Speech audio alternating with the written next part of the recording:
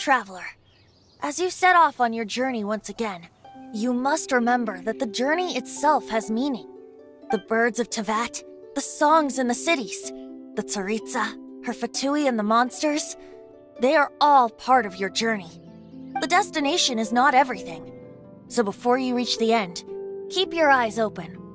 Use the chance to take in the world around you.